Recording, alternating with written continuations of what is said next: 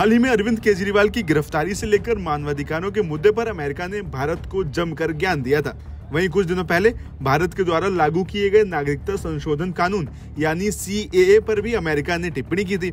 हालाँकि भारत ने तब अमेरिका को इस मामले से दूर रहने की हिदायत दी थी, लेकिन फिर भी अमेरिका बाज नहीं आ रहा है। दरअसल अब अमेरिकी संसद की एक स्वतंत्र शोध इकाई ने एक रिपोर्ट जारी की है, जिसमें यह दावा किया गया है कि भारत में इस वर्ष लागू किए गए नागरिकता संशोधन अधिनियम, यानी सी के प्रावधानों से भारतीय संविधान के कुछ अनुच्छेदों का उल्लंघन हो सकता है।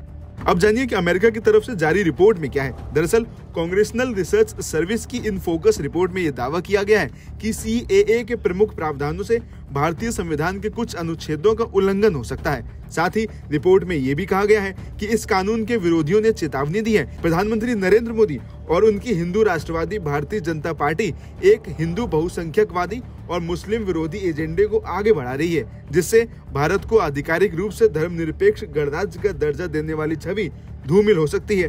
वहीं आपको बता दें कि ऐसा पहली बार नहीं है जब सी को लेकर अमेरिका ने बयान दिया है। इससे पहले अमेरिका ने सी को लेकर कहा था कि वे इसको लेकर काफ़ी चिंतित हैं और इस पर करीबी से नज़र बनाए हुए हैं। इसके बाद भारत ने इस पर तीखी प्रतिक्रिया व्यक्त की थी।